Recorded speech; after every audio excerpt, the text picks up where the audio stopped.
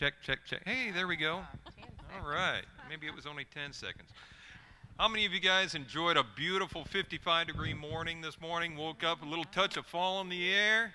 Yeah. Woo! Made, you, made me get up and want something from Starbucks with a pumpkin spice taste, didn't it? It was just a wonderful feeling.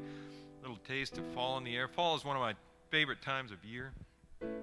It's a time to celebrate, it's a time to worship. Today is the day that the Lord has made. We are going to rejoice and be glad in it. I'm going to ask you to take this moment to go ahead and stand as we begin giving praise to God with the song Jesus Messiah.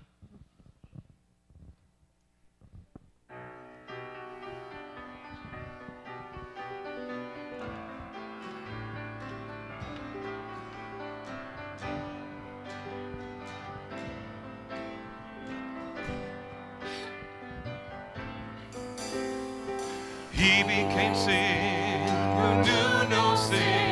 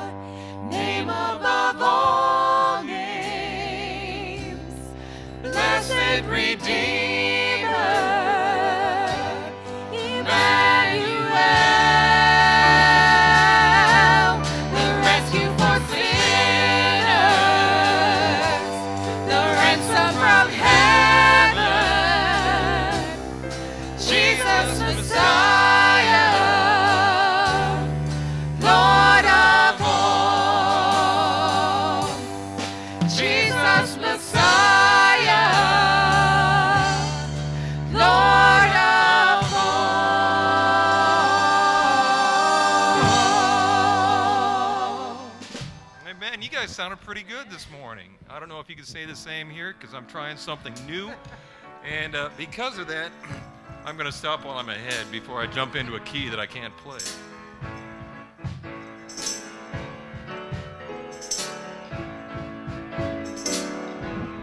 Sing with me. These are the days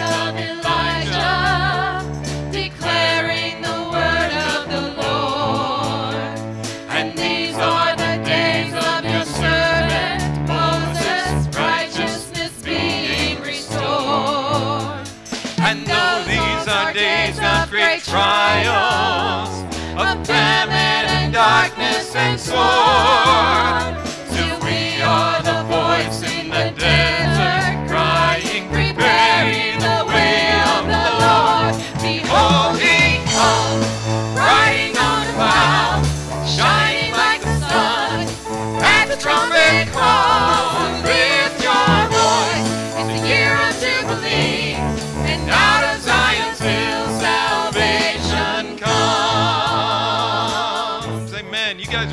Like you believe it.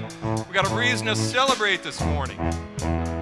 And these are the days of Ezekiel, the dry bones becoming as flesh.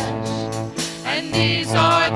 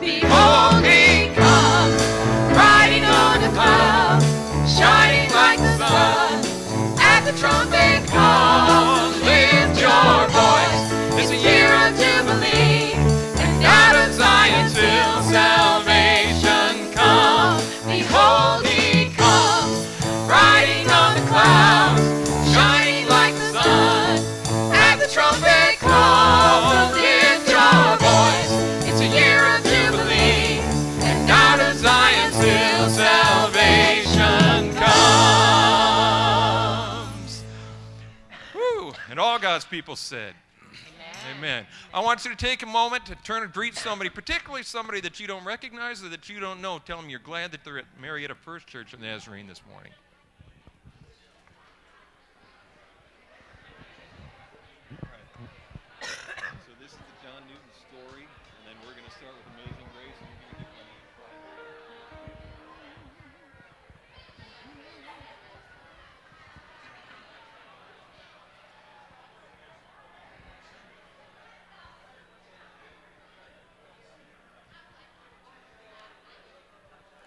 Okay, now before you get too comfortable and sit back down, I'm not quite ready for you to sit yet.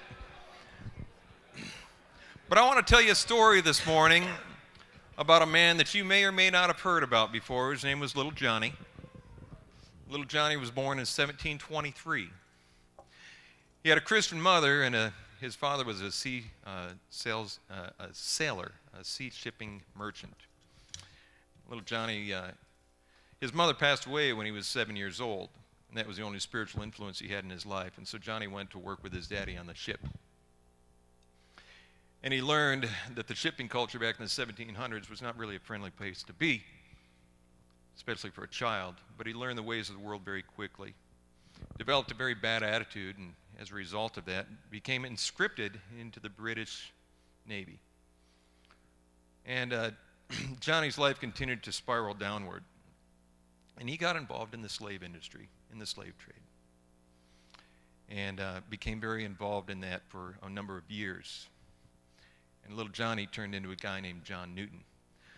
John Newton was one time in the middle of a terrible storm returning from one of the slave trade ventures or voyages that he had been on and cried out to God in mercy God, save me from the vile, wicked creature that I am.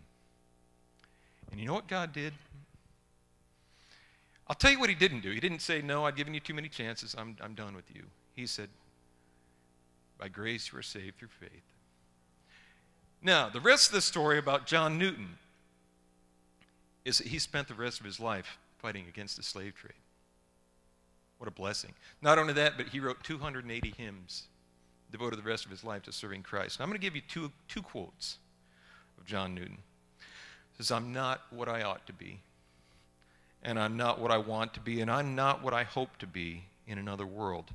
But still, I am not what I used to be, and by the grace of God, I am what I am.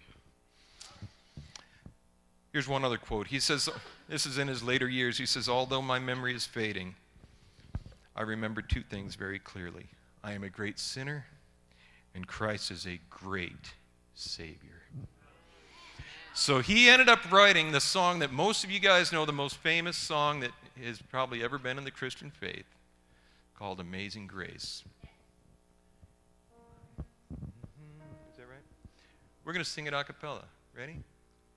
One, two. Amazing grace, how sweet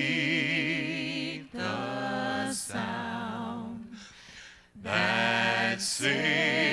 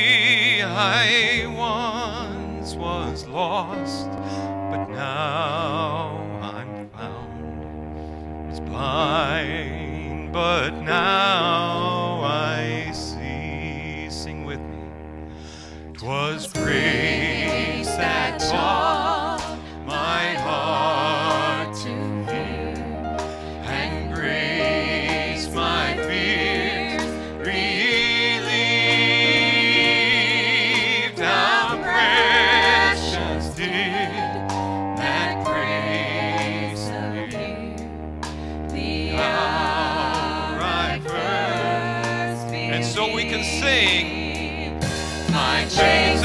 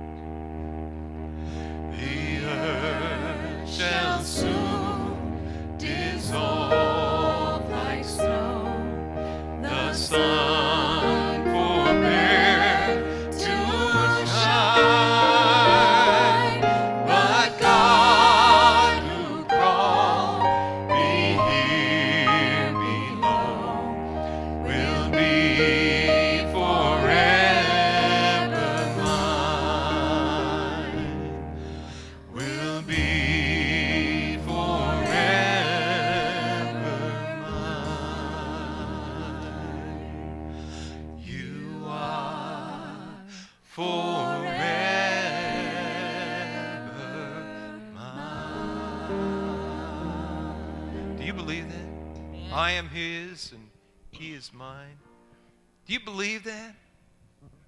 We're going to sing one last song before we go to prayer. And it's one of my favorites. It's I need thee every hour. It's based on 1 Corinthians 5:21. Listen. We are therefore Christ's ambassadors as though God were making his appeal through us. We implore you on Christ's behalf, be reconciled to God. For God made him who had no sin to be sin for us so that we might become the righteousness of God. Let's sing together. Lord, I come, I confess, bowing here.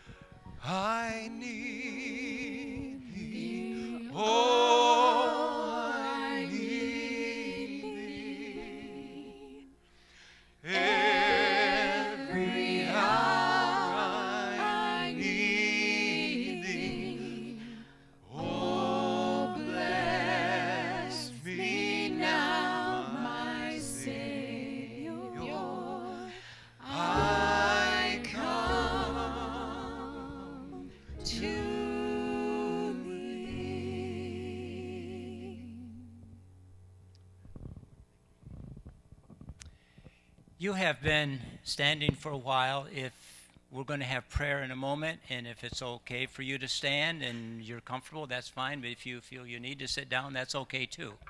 Uh, Lawrence and Pat Hudson have been attending our church for the past several weeks, and Lawrence is a former Methodist pastor and also an evangelical Methodist, uh, Methodist pastor. Served as a district superintendent for the Evangelical Methodist Church. Is now retired, but they are just wonderful, wonderful people. I don't know if you have met this wonderful couple as yet, but uh, I've asked uh, Lawrence if he would come and lead us in prayer this morning.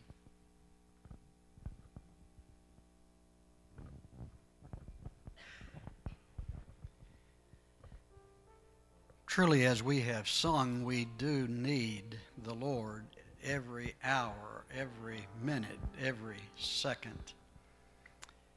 I wonder if you have a need or a concern that you would like to bring to God this morning, just privately and silently.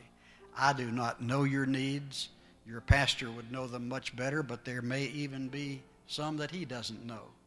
Let's take just a moment of silence so that you can lift that concern to God before I lead us in our, corporate prayer.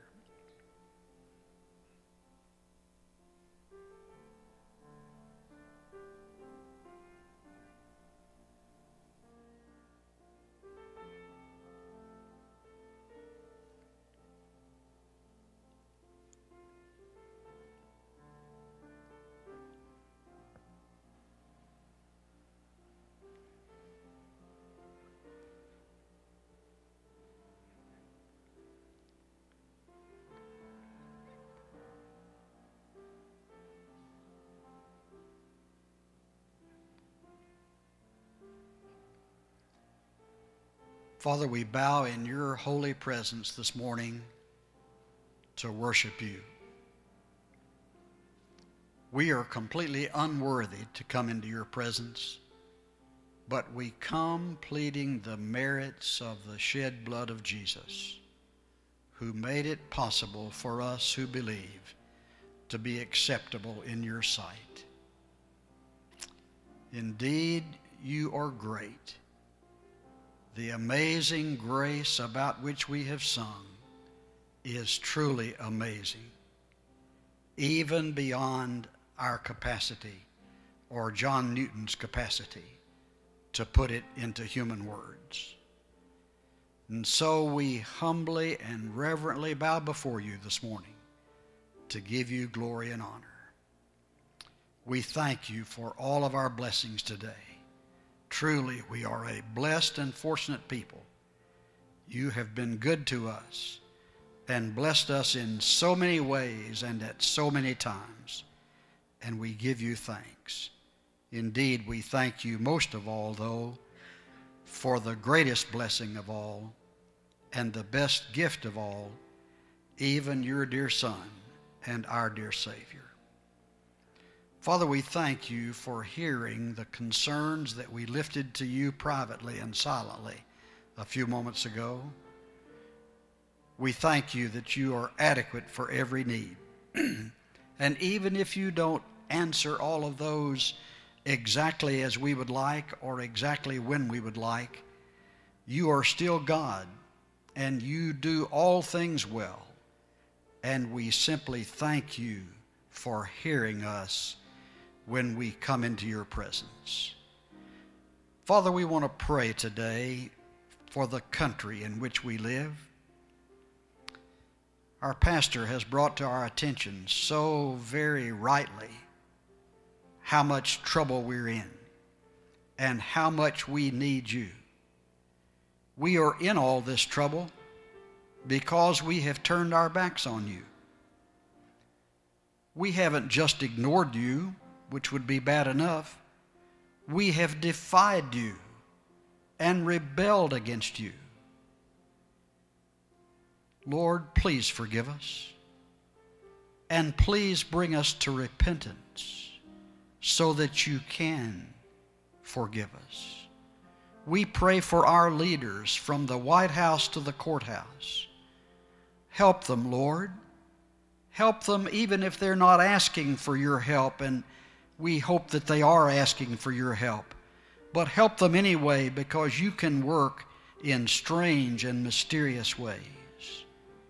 Lord, we know that as a society, as a civilization, as a nation, we deserve your justice. But as you extended your mercy individually to John Newton, would you please extend it collectively to the United States of America. We do not deserve it.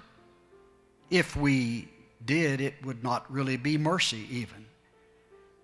So we do not deserve it, but we do plead for it.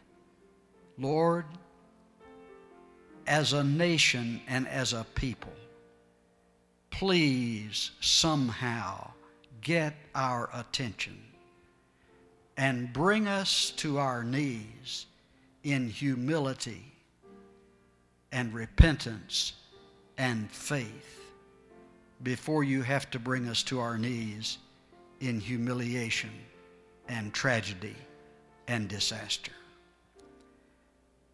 As we pray for our country, we also want to pray for our church. Lord, we pray for this local church, for the district of which it is a part, and for the denomination of which it is a part we, we rejoice in what you have done here in this very place, on this very property over the last three years. And then what you have done over many more years than that besides. We thank you for the leadership of this pastor, and we ask you to bless and help him and his wife. We just, we just ask you to prosper your work here and to increase the harvest in a way that would bless many souls and in a way that would bring glory to your holy name. And we make this our prayer now in the precious and holy name of Jesus and for his sake. Amen. Thank you so much, Lawrence. You may be seated. Well, it's been a wonderful morning, has it not? And we're delighted to have each and every one of you here, and those of you that may be with us for the very first time. Uh, you'll find in your bulletin a connection card, and if you would fill, uh, just please take a moment to fill that out and drop it in the offering plate that's going to be going by a little later in the service. A special thanks to Len Impey for filling in for Ann Joyner this morning as Ann is ill and was unable to be with us. And we ask that you would be praying for her and for her recovery. And also, wasn't it great to see Mary Jasper on the platform this morning? Wasn't it? I think we just need to thank the Lord for, for that. And you know, over the last, uh, well, just about every week, it seems, I send a prayer request out with a number of individuals, and, and uh, uh, these are not general prayer requests. They're often very specific and for people that are going through a crisis and a tough situation. And, and uh, so when you see something come over your email and it says prayer request, it's somebody that needs prayer immediately.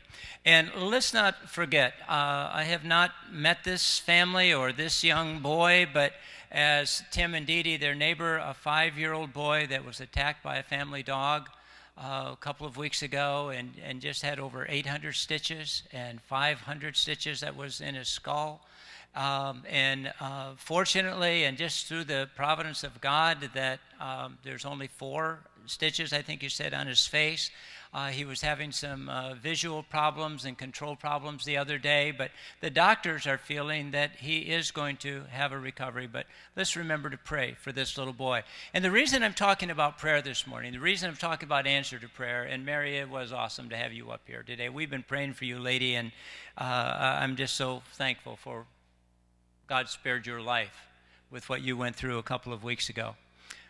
But we also have been praying for a number of other people. And, and this morning is, is uh, I, I want to take a moment because I don't ever want God to think we're taking him for granted. I don't ever want him to think that we're taking answers to prayer for granted. I'm going to ask if Joyce Thomas would come and join me here in the front. And uh, I want Joyce, as we have been praying for her, and she has been going through just a lot of stuff and treatments and various things, and uh, with fighting uh, some cancer issues, and I want her to share a little bit of her story. Thank you. Um, you all, I appreciate all your prayers. We've been praying ever since I found out that the stage four cancer has returned for the third time in uh, 1970, my husband's mother died of uh, cancer, and so it became a big fear for me. Uh, I knew I could never face anything like that. Uh, uh, she died in 1970, and in 1971, I found a lump on my breast. And so I panicked, and I went to the doctor, and he said, uh, You're too young to have breast cancer. you'll be okay, just forget it. Well, that didn't help me because I had this fear, so I went to a specialist. Yeah, he said the same thing. He said, You're going to be okay. It's, it's just um, you're too young to have breast cancer.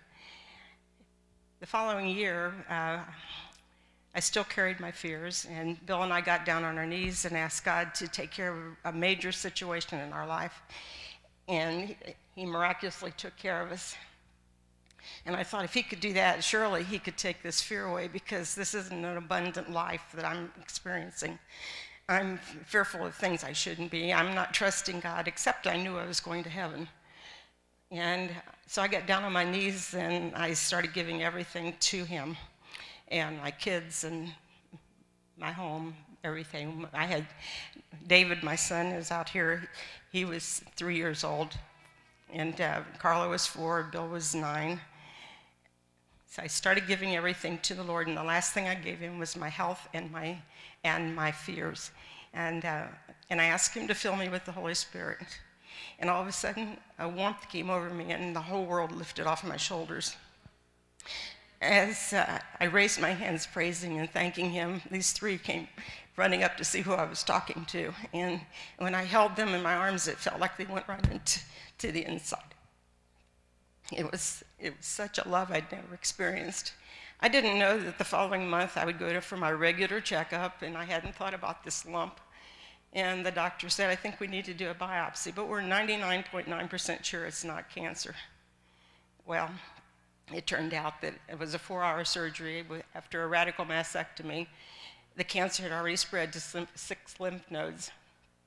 And when he came in to talk to me, he said, It's cancer. And I said, But you got it all, didn't you? And he said, I'm sorry. Um, what we're going to have to do is take your ovaries, do radiation therapy, and you'll live six months to a year. Well, I have these kids I wanted to raise, and I thought this can't be well, God intervened. He came and touched me in the hospital. I remember uh, I had been praying. I asked him if I could just touch the hem of his garment. I knew I'd be okay, and I reached up to ask him for healing. And the next day, I was uh, laying there, and I felt Bill holding my hand. And I turned to say something. Well, Bill wasn't in the room, but the presence of God was. So I'm telling the doctors I'd been healed. And I, started talking about my healing, and the next day I got a scripture from a friend, Isaiah 41:13. For I, the Lord thy God, will hold your right hand, saying unto you, Fear not, I will help you. And it was my right hand. God took away the fear, and I went through the surgeries, I went through the radiation, and I was ready to go home. And the doctor came in and he said, We'd like you to see a psychiatrist. And I said, Okay. He, I said, Why? I have perfect peace. And he said, You may, but you're not accepting the fact that you have cancer. I said, I don't. And he said, Well, you, you're, you're going to die and you're only accepting this. And I said, I'm not going to die. I know God has touched me. And he said, Well, have you looked at yourself in the mirror? Well, I was pretty much a roadmap by then with all the surgeries that they had done. I said, No, but what's inside is, and if you'll sit down, I'm going to tell you what Jesus has done for me. And he did. so that was my fear of being healed uh, in 1972, 43 years ago. In 1993, I was coming home from work and I had a sharp pain in my chest. And I thought I've got pneumonia or I'm having a heart attack, so I put in, went into the instant clinic and he said everything looks okay. You don't have pneumonia but let's do a chest x-ray. And he came back and he said oh my goodness. You need to get to emory clinic as fast as you can. You have a mass on your lungs. It was the size of a lemon. So at that time i thought i, I can't believe that this could be cancer again. I knew god had touched me and i will tell you adrenaline flowed through me. Uh, and a friend brought me this cd it's Healing Scriptures. You can have it. Healing Scriptures by Pastor John Hagee. So I started listening to the, he's reading scriptures, and peace came over me again. And that was 22 years later, stage four cancer. So after Bill died this January, I, I we thought he, God would raise him up and he would be healed. He wasn't. God decided to take him on home, know, probably knowing what I was going to go through. Uh, in fact, we were so sure, Bill said he was going to buy a truck in the week before he died.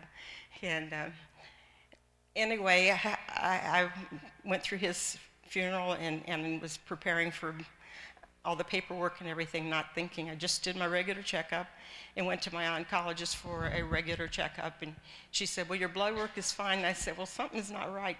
And so when she examined me, there was a mass on my other breast. And um, so we began the procedure of, um, the, it was just a, um, biopsy and uh, ultrasounds and mammograms. And then I got my PET scan back, and, and it read, uh, there unfortunately is evidence of reoccurrence. Well, it's four pages of where the cancer is.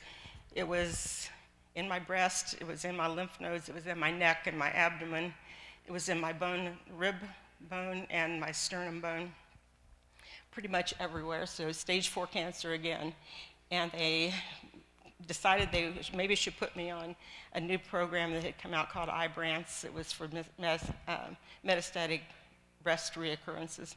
And so uh, we were, I was praying and asking God, what, what do I do? And got a call from pastor and asked if I'd like to talk to Greg, who was the, the uh, chief office, uh, chief CE, COO of the American Cancer Society, and he put me in touch with the medical, the, the one that was the chief medical advisor, and so I ran by him my tests. He wanted to look at my PET scan, and in the meantime, my sister-in-law from Florida called and said, "I know the man that's the head of the oncology at Mayo Clinic.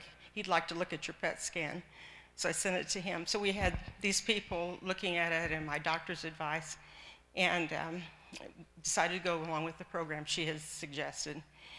On Mother's Day, I was anointed with oil and prayed for by all of you, which the next day, I, I had no pain in, in my chest or breast or arm anywhere and I couldn't feel the mass. So I went, went in the very following day and I told my doctor, I think the mass is gone. Well, she was so involved with this new program, she didn't even examine me actually. And uh, so we started on the program, and the, the, very first day after, I went back to the surgeon, and she said, I can't find the mass, but I was on the program for four months and didn't really have any major side effects at all. I maybe have a little bit thinner hair and some skin issues, but um, so I went back in on Thursday a week ago to get my next PET scan. And it's four pages and it talks about every one of those lymph nodes and everything.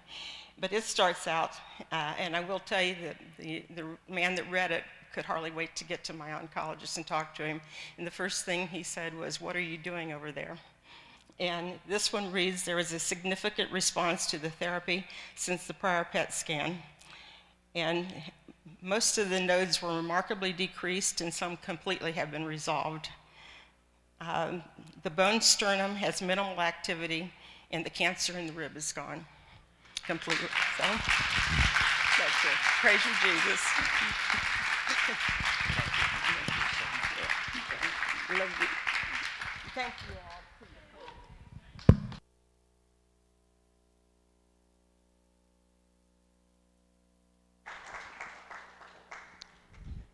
Oh, I still have your tape. I'll give it back to you. Well, that was worth coming to church today to hear, wasn't it? I mean, do we serve a great God or not? And is there a reason for us to continue to pray? And I, it, is my hope, and, and, I, and Joyce, thank you so much. And it's so great to have, your, uh, have some of your family with you today to hear this. And I, I tell you what, we love your mom. Uh, she is just a gem, and, and we, we loved your, your dad. And, and um, I, I honestly would have to say that I put Bill and Joyce Thomas, of all of the people I've ever run across over the years, as two people who have certainly would be high on the list as people who have great faith. When Bill was supposedly dying, I don't know how many times, but he, the family came together and they said, Look, I don't want you to worry about me because when you die and go to heaven, you'll find me under the big tree. We're going to have a meeting place there. I'd never heard anybody use those terms like that. But again, it was the faith and the assurance. But we're glad that Joyce is going to be around with us for a while. Well, I want to talk to you this morning about not just things in life, but I think so often we want God to do everything for us. I mean, everything. There are folks I just know that are either sitting in this place this morning or watching over the streamline or will will be listening to this over the, uh, an audio version of it later, uh, who knows, maybe months or years down the road. But there are some people who are going through some really difficult times, whether it is with their personal life or with their marriage, with their children, maybe finances, maybe relationally, maybe with occupations or whatever. And, and we said, I just don't know what to do. I don't know where to turn. I don't know where to go. Well, hopefully, the testimony that you've just heard this morning will at least nudge you in the right direction, and that is that we come to God and we seek Him. But God doesn't do everything. There are some things that He requires of you and me, and that's what I want to talk to you about. Quite often, I will ask people if I'm doing a Bible study or, uh, or, or just talking with people, and I'll say, Do you have a favorite scripture? They do. Or I will ask, Do you have a favorite Bible story? Almost invariably, and Bible stories would just click, click, click, click, click. They, people just love to talk about their favorite Bible story. I would say 99% of a favorite Bible story of anyone has to do with a miracle. We love miracles, don't we? We love God jumping in and doing something that nobody else can do. It is a wonderful, wonderful story. Well, the Bible is filled with those. But today I want to not only share a number of my favorite stories, but what I believe is the absolute number one priority, the number one ingredient necessary for anyone who desires to live for God victoriously day by day. It is the basic ingredient for any marriage wanting Christ to be the head of their home. It is the basic ingredient that will keep a single adult on track. It is the ingredient that will keep a teenager from being influenced for evil. It is the basic ingredient that will help us in our personal spiritual growth or when we battle temptation or in overcoming a sin, or running your home, running your business, or controlling your finances. It will help you when you face unemployment, or when you have stress on the job, or stress anywhere for that matter. I'm going to tell you today, or what I'm going to tell you, is that if you do not have this as an active part of your life, you are going to struggle spiritually. You'll struggle spiritually all of your life. If you do not make this a basic ingredient, you are going to struggle all of your life in spiritual things. You're going to lose more battles than you'll win, and there's no way on earth that you can live a life of faith without this ingredient. And before I give you that, I want to read the first five verses from Psalm 132. Psalm 132 from the New Living Translation. The Lord remembered David and all that he suffered. He took an oath before the Lord. He vowed to the mighty one of Israel. And here's what he said here was the vow. He said, I will not go home. I will not let myself rest. I will not let my, let my eyes sleep, nor close my eyelids in slumber until I find a place to build a house for the Lord, a sanctuary for the mighty one of Israel. I want to talk about this for a few minutes today. When we think about the hardships that David endured, he certainly was a candidate for low self esteem. Anybody here battling that today? He was his own father told him that he was the least of his children. Now David, when we think about David, he had a great victory in killing Goliath, but then he ran from a jealous Saul. He committed a great sin with Bathsheba, and Bathsheba gave birth to a baby, and that baby died. David's oldest son Absalom wanted to become the king of Israel, and in order to do so, he had to get rid of his father who was on the throne. Well, he didn't see him dying of old age anytime soon. So Absalom, who was the oldest son of David, recruited an army and put them together and brought army against Israel for the very fact of killing his own father.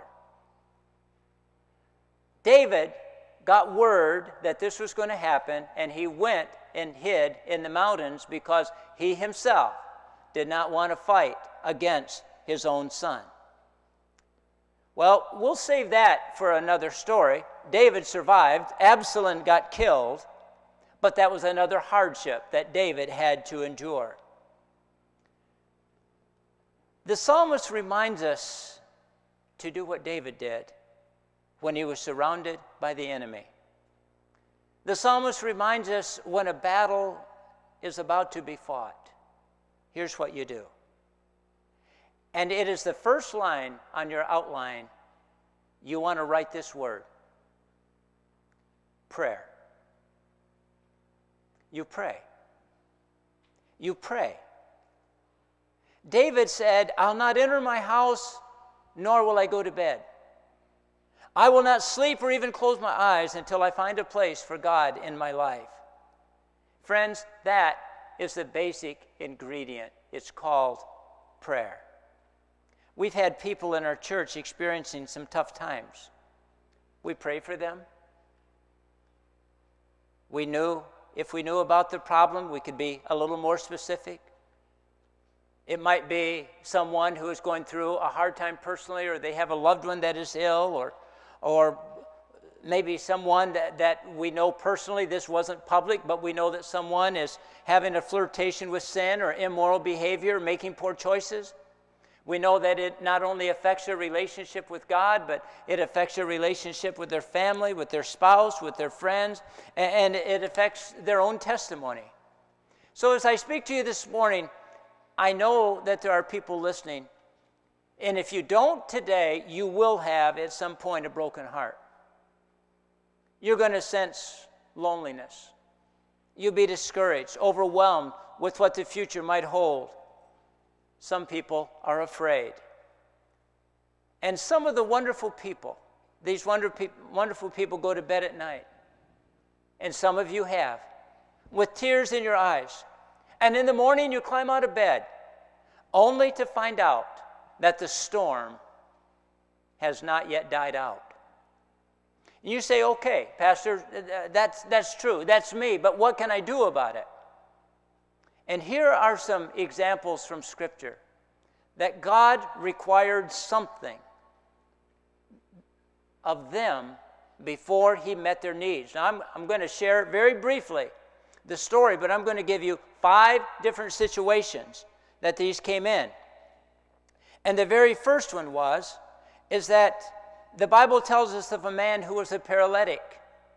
And he laid by the poolside for 38 years. Now, 38 years is a long time. This man was paralytic. He couldn't walk. He was not dependent upon himself. He had to depend upon others. He had to have others that would take him out and they'd put him by the pool every single day.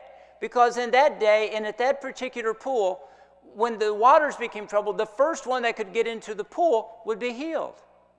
But there was a problem. The man couldn't get himself in for 38 years.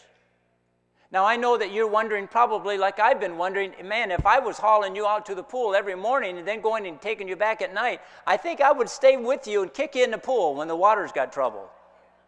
But we don't have anybody telling us that that was done. It just says he was there for 38 years. And wouldn't you know it, one day Jesus walked by. Listen to me carefully.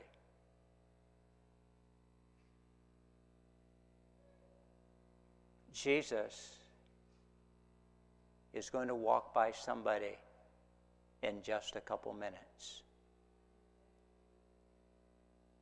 And it might be you. Jesus walked by this man that was lying there by the pool.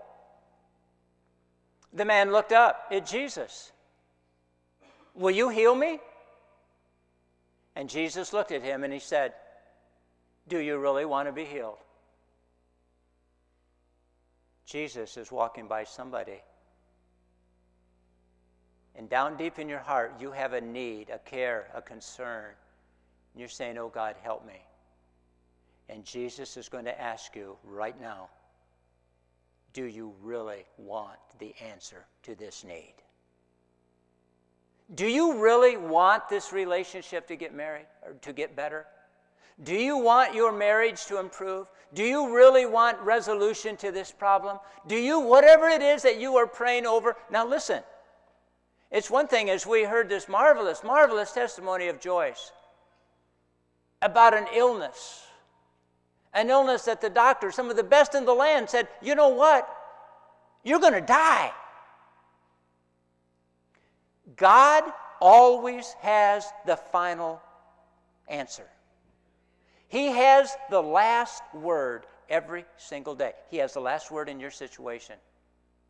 I might be talking to someone today and you are facing a tough thing and you say, There's no way out. I battled this thing for years. And, and, and uh, you know what? I, I worried about it when I went to bed last night. I, I tossed and turned throughout the night. When I got up this morning, it was still there.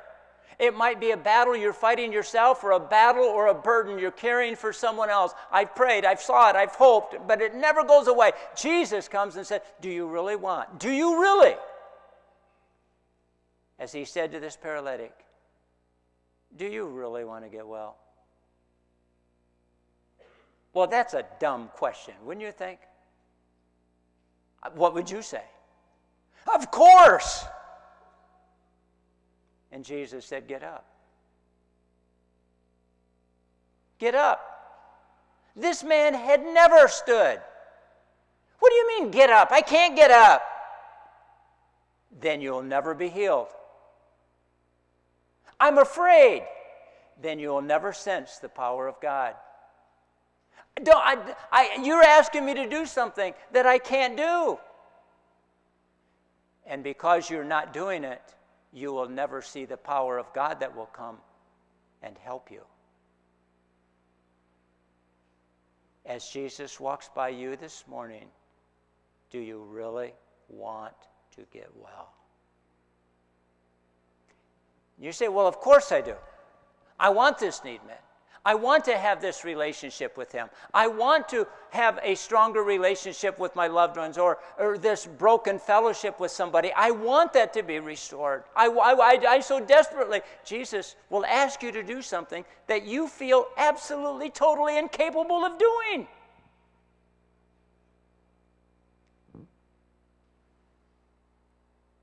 God requires something of us. Not only did he say, get up, he said, pick up your bed. Why?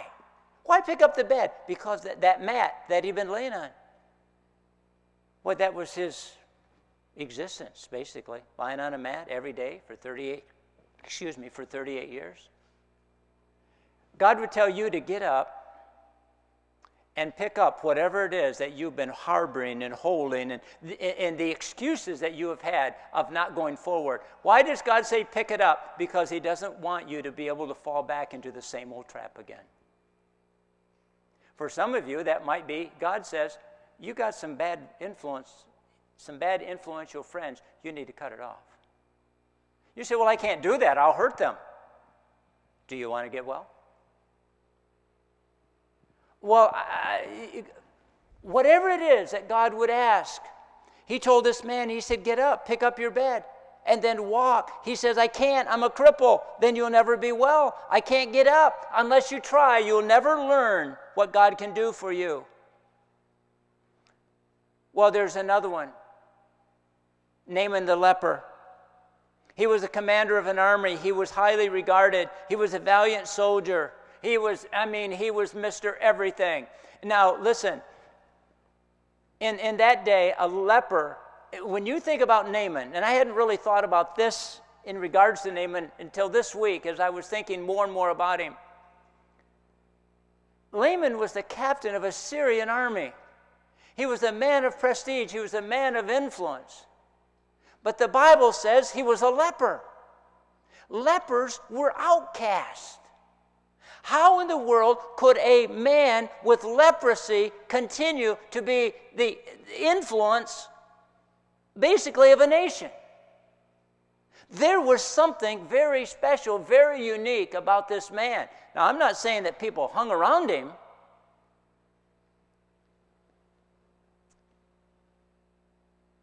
A young girl,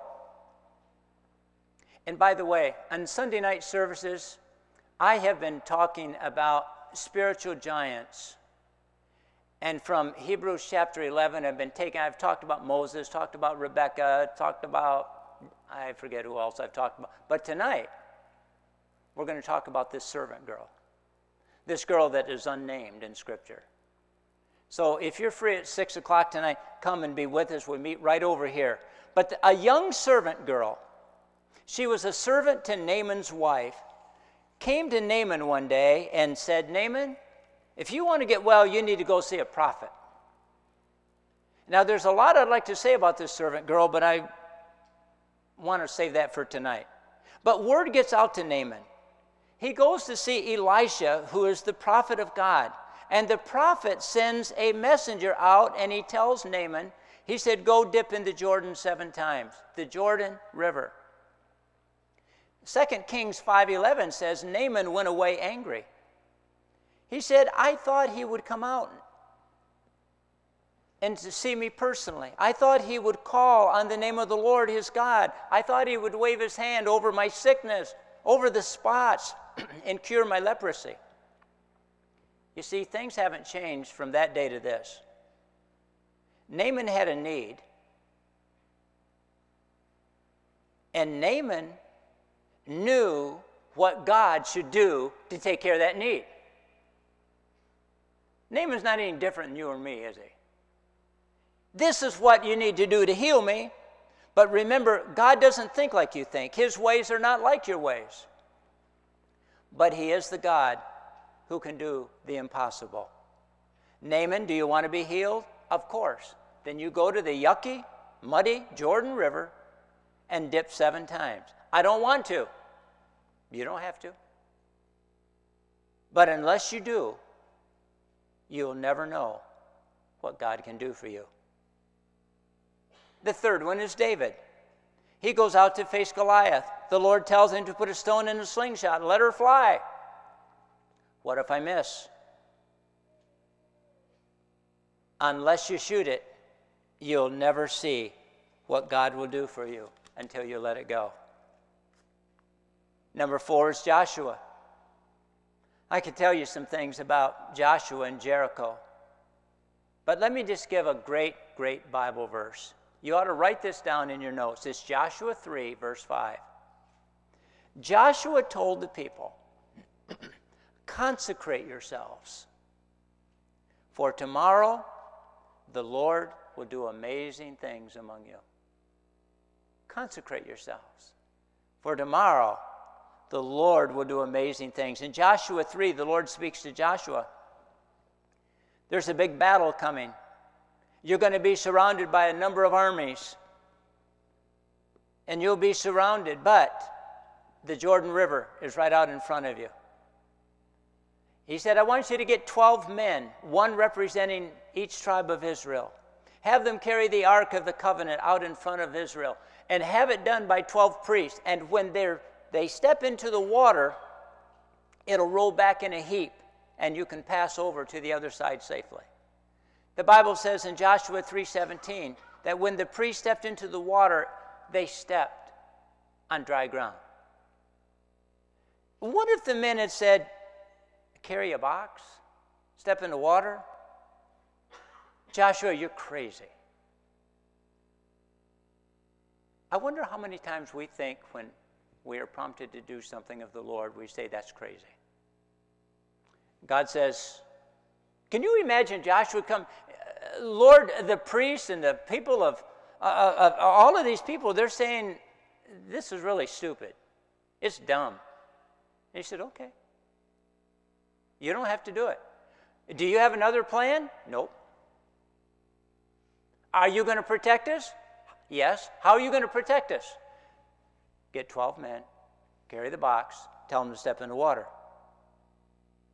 Joshua would say, You can do what you think is best, or you can obey God. It's your choice. But if you do it your way, you'll never see the power of God, and you're going to be defeated. If God is for us, who can be against us? Now, some people would be tempted to say that the water wasn't very deep and it wasn't uh, really, it didn't really roll back. The Israelites just walked across shallow water. Wrong. Joshua 3:15 says the water was at flood stage. Joshua 3:17 says the priest stood on dry ground.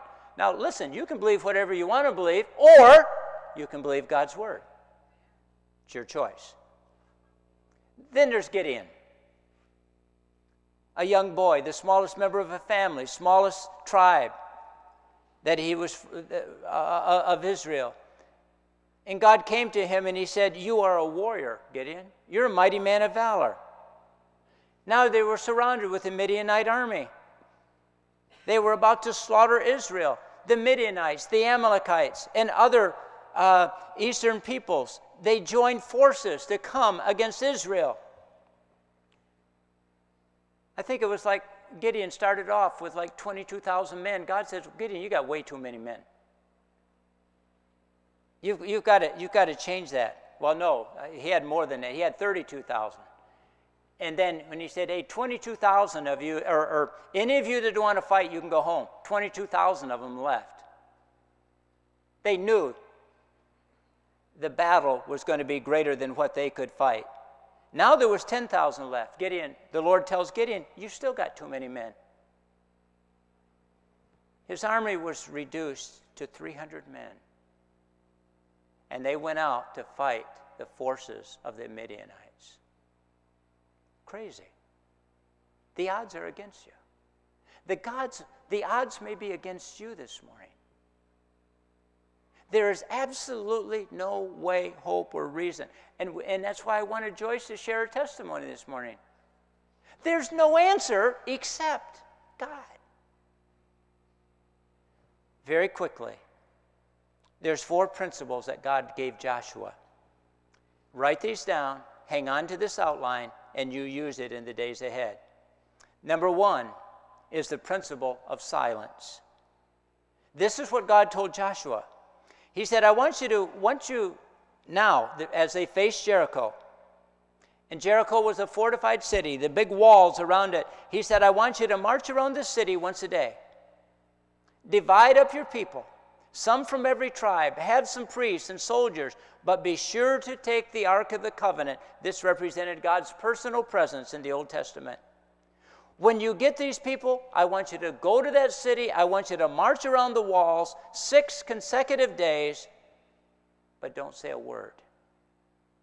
On the seventh day, march around it seven times without talking. You, do you know that silence is loud? Sometimes we are so busy doing things that we can't hear God speaking to us. The first principle was silence. The second principle is submission. Joshua near Jericho, he saw a man standing there, and he asked this person in Joshua 5:13, "Are you for us or for our enemies?" In Joshua 6, Joshua gets the instructions on what to do at Jericho. But in chapter 5, that comes before chapter 6. And in chapter 5, we see Joshua falling face down in reverence before this man, and he asks the question, What message does my Lord have for this servant. Wow. The commander of the Lord's army says, Take off your sandals. You're standing on holy ground. In other words, you are in the presence of God. Joshua is modeling obedience. Before he acts, he comes before God. And because of his example, the people will follow him in obedience in chapter 6. The third principle is the principle of strategy. When God gives instructions, He tells us how to do it. There were two and a half to three million people. All of these people could not go and walk around the walls of Jericho. It would take forever.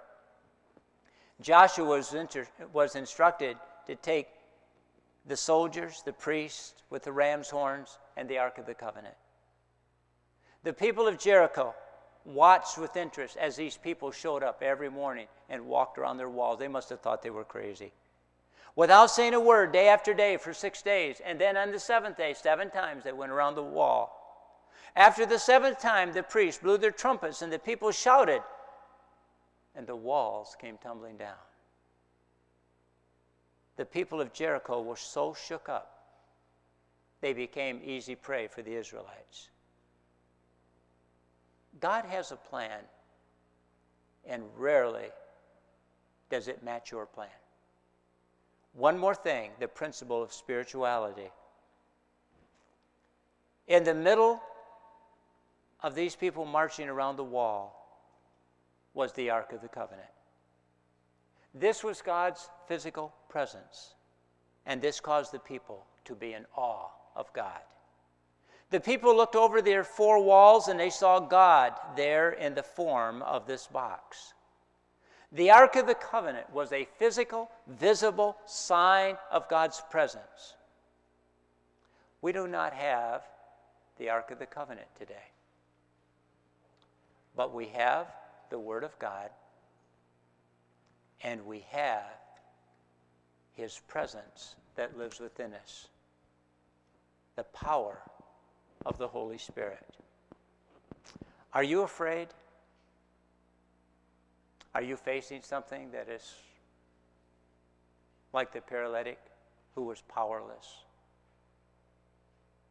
You're facing something and you wish you could do something, but you don't know what to do, or you just physically can't do anything. You need to take the first step and do what God wants you to do and trust Him to do the rest. Two weeks from today, we're having Friend Day. I've been asking you to invite family and friends, people that you know that don't go to church, to come. You, uh, for some, that throws you out of a comfort zone. Oh, I just don't want to do that. I, okay. What you're basically saying is, I, I like my friends, but I could care less about them spiritually. That's that really that's what you're saying. The bottom line of it is you're saying I don't care whether they go to heaven or hell. Now you wouldn't admit to that. But that is a fact. It's an un it's an unwritten fact. If no one else is invited into church and you won't invite them to church and they don't ever hear about the Christ who died for them and loves them, you really don't think you're telling them something? You say, well, how do I do that? First, you make up your mind you're going to do it. Ask God to give you the opportunity, and He will. And then you do it. But I don't know what to say. Take one of the invitation cards in the back and hand it to them and say, look, on September 27th, we're having Friend Day at the church. You are my friend. I would be honored if you would come. Is that hard? You say, well, what if they say no? What if they say yes? Well, what difference would it make? So they come to church one day. What if they found Christ? It changes their life. It may change their home. It'll change their future. Somebody who is the paralytic, and Jesus said, Do you really want to get well? Do you want to see your church grow? Really? We can talk about it. Well, we even can pray about it. But there comes a time we have to get up. When we get up, God gives us the power and the strength to do it. But let me close with this. I wanted to throw that in because I wanted you to be thinking about that, and you've got two more weeks, and I hope you are doing your very best. I'm going to pray, but let's go back to whatever issues you might be facing or experiencing in your life. God can help you with that. And whatever you are facing and experiencing in your life may be a surprise to you, but it is not a surprise to Him. But He's walking by this morning and saying, You say, Jesus, can you help me? Do you really think He can help you? I believe you do think He can help you.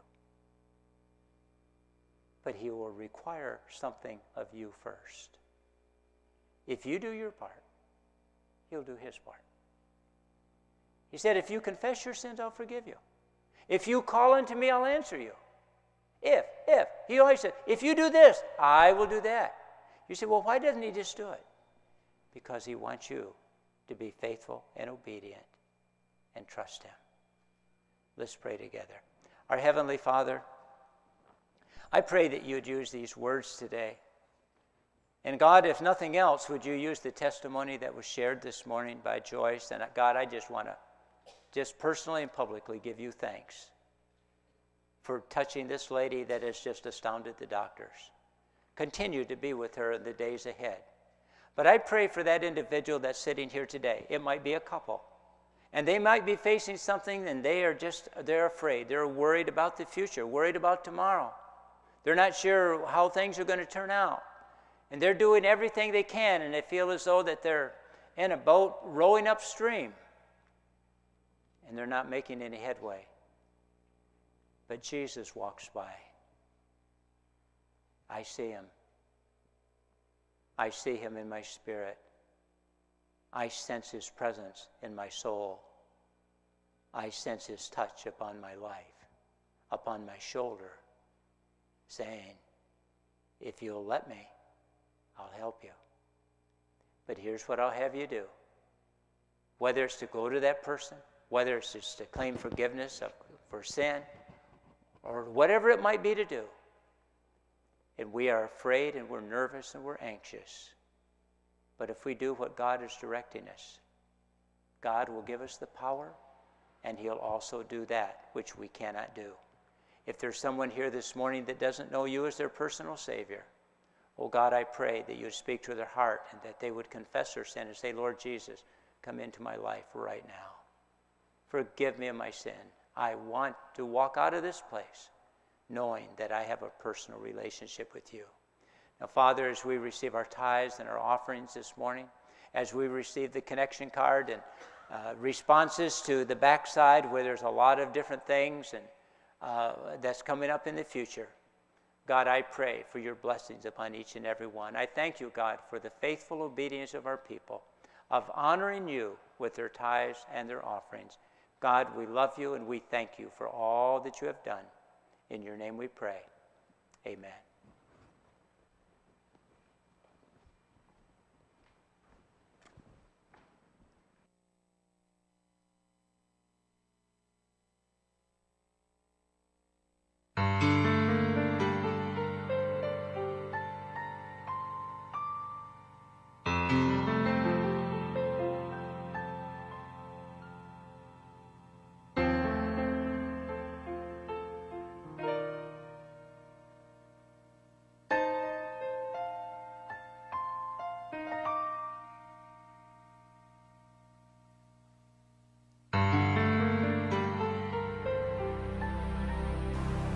Have you been, son?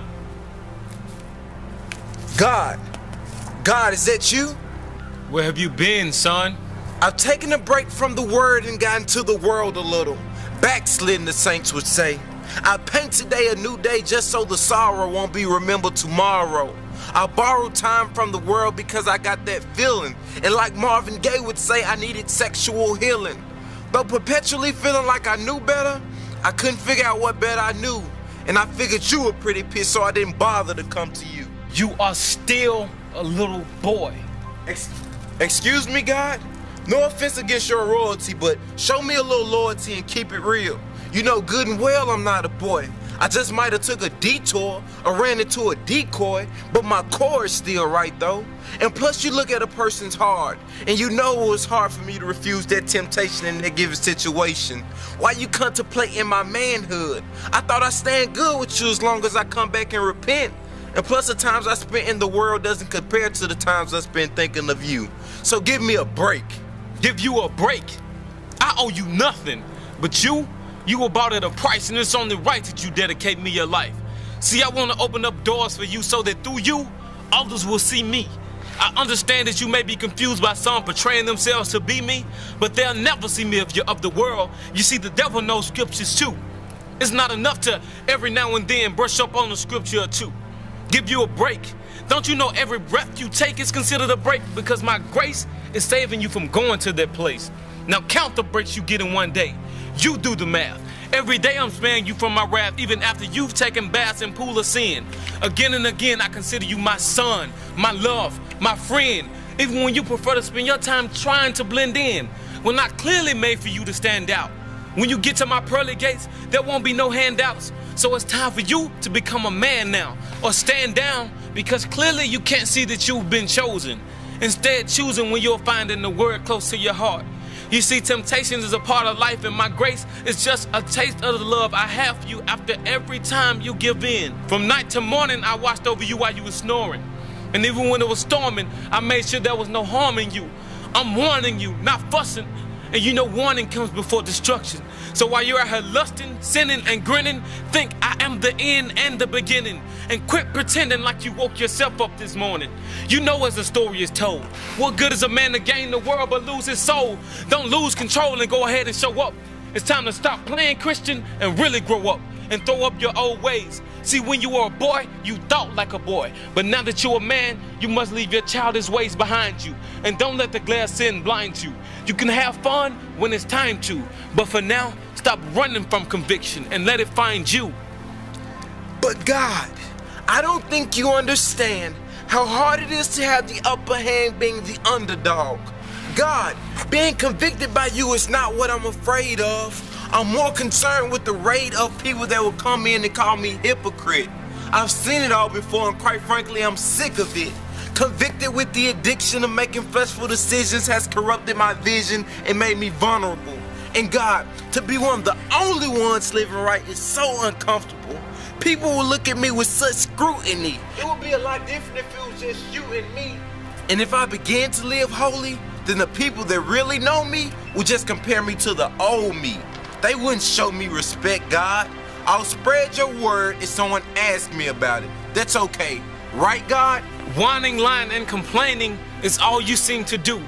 You find time to do everything you want, but nothing I ask of you. But you expect me to have grace every time you come my way? You seem to remember me every Sunday, but forget about me on days like today. What if I was to dismiss you? Then who would spare your life? What if I decided to take a break? Then what would you expect from your creator? What if I just decided to walk off and just decide to come back later? You don't realize the things I invest in you and all the talent I give you as a gift. So let's just reverse our roles and I'll let you take my second shift. No, don't ask any questions. I'm handing the power over to you. Now your life is in your hands. Your destiny belongs to you. God, wait. I apologize. Just listen. I apologize for fitting in when I know you made me different. I just thought that maybe this time, maybe this time. Time!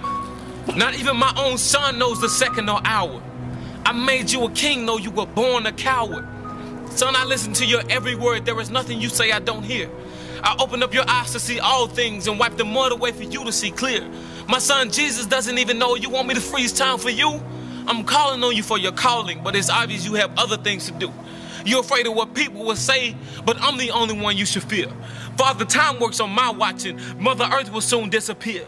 You may not understand, and this may come as a surprise, but I'll explain it to you because I'm sick of the lies. I'm the divine truth, and nothing shall come before me. How can I explain to you how to be faithful when I speak, you just ignore me? I give you every inch of power you have to conquer all that you may fear. But consider my voice to be hours on the clock. The end of times are near. Okay, God, I'll change. I promise I'll change. But I might as well get used to people looking at me strange. Who cares? And what about my imperfections and everything of my past? I perfected your imperfections and made beauty of your past. I made you first when you thought you were last. You see, my love is unconditional. It's something you've never felt. I've forgiven you of everything, even when you couldn't forgive yourself. God, what if I fall? You will. And then what? I'll pick you up. And even then, God, what if I fall? I'll pick you up. But God, what if I keep on falling? I'll keep picking you up. But God, But nothing. You will always fall short of my grace. That's not to debate. You should face every day knowing that you have been saved by grace. Let the melodies from heaven rain down on you and take that Bible off the shelf. Stop depending on everyone else. Sometimes you have to encourage yourself. It ain't over until I say it's over, so wipe those tears from your face. You have to continue to move swiftly and make every move in faith. I can continue to show you the right path and you can continue to talk to me. But your words mean nothing unless you're ready to walk with me. God, I surrender. Son, just walk.